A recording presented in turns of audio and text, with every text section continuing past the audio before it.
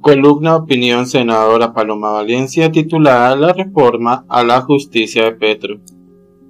Las reformas a la justicia que han propuesto están en cuatro textos. Uno sobre la humanización de las cárceles. Otro las reglas de sometimiento.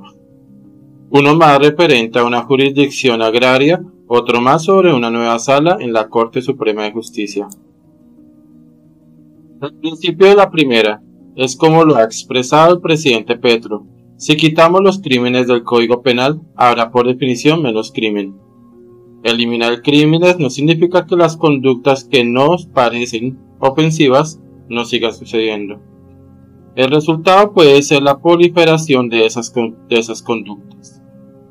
En la misma lógica, para humanizar la cárcel proponen liberar a los criminales de las cárceles.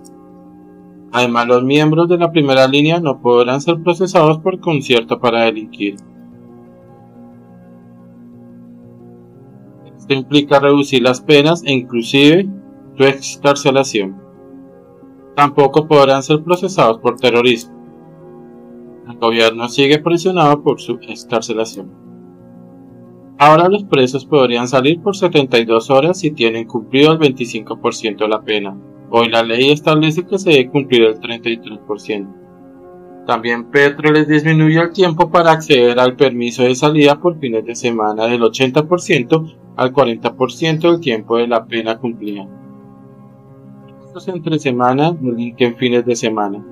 Se elimina el artículo que establece circunstancias de agravación para homicidios cometidos, cometidos en menores de edad.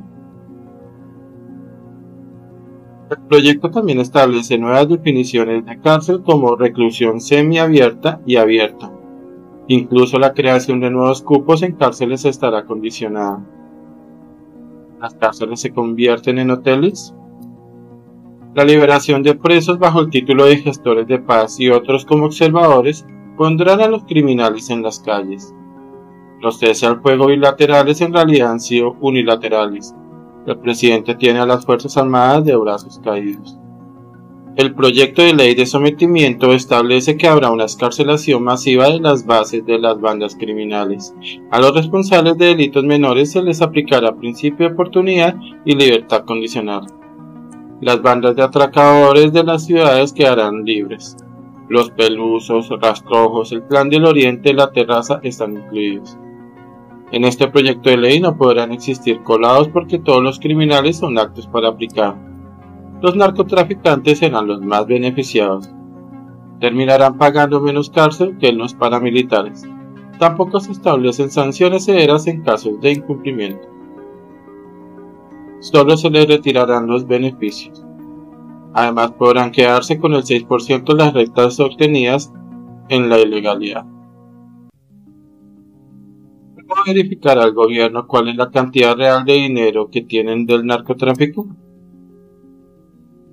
Los criminales también tendrán tiempo para pensar cómo negociar.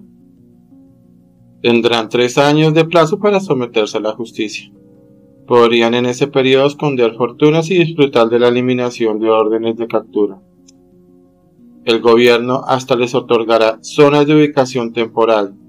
Serán varios caguanes en el país. La fuerza pública no vigilará las zonas. Licencia para delinquir sin respuesta del Estado las penas para los máximos responsables serán entre 6 a 8 años. Hoy en día la pena máxima por narcotráfico es de 20 años y por secuestro extorsivo de 42 años.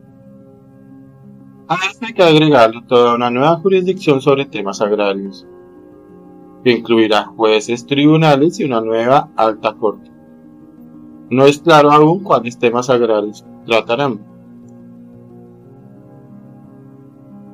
los civiles, los comerciales, los administrativos, todos o algunos, pero faltan solo cuatro debates. La coletilla de esta nueva demolición son los juicios nacionales anticorrupción que en cabeza de León Valencia se proponen como ley estatutaria creando una nueva sala en la Corte Suprema de Justicia. Unos juicios que se parecen mucho a los que las tiranías han usado para perseguir a sus adversarios. En resumen, demuelen también nuestra justicia.